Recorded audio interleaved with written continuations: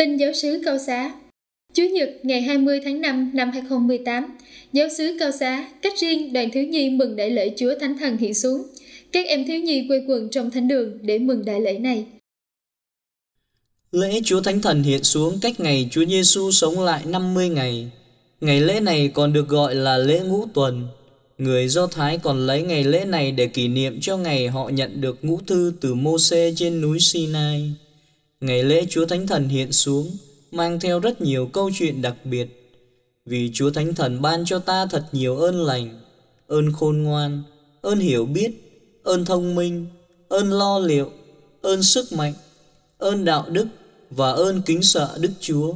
Đó là đôi điều cha phó An Tôn chia sẻ với các em thiếu nhi trong bài giảng. Sau thánh lễ, các em thiếu nhi có buổi giao lưu sinh hoạt do các anh chị giáo lý viên tổ chức, được sự chỉ dẫn của cha phó. Cả đoàn thiếu nhi cùng nắm tay nhau, chạy thành một vòng tròn lớn như sự liên kết của Chúa Thánh Thần với mỗi thành viên trong từng lớp, từng khối và cả đoàn thiếu nhi. Tiếp đó, các em thiếu nhi được chơi các trò chơi vận động như kéo co, bóng truyền nước.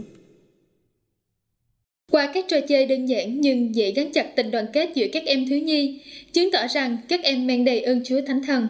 Sau cùng, mỗi lớp được tặng một phần quà và cùng chung vui với nhau trong ngày đại lễ này.